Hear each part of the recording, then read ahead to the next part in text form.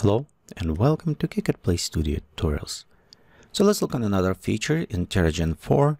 Mostly it says ozone factor. So it was added to the atmosphere. All actually ozone factor it's help us naturally calculate the correct way of the light absorption based on a ozone layer and currently it's based on the earth so what it does it is um, ozone layer will absorb red and green light to produce blue sky and that is especially visible when you have a sunset on sunrise. So example right here we have a factor of 1 what we have currently and we take down all the way you'll notice it is have a little bit more of the red and green start coming up.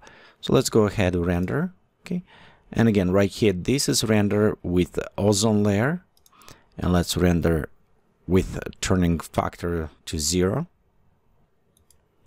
and you can see right here we already have it quite a bit red and yellow, uh, greenish yellow kind of.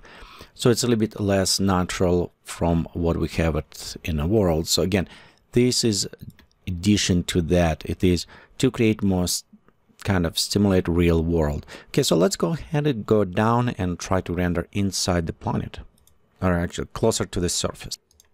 Okay so right here very simple setup and you can see this is with um, turning ozone factor to the zero.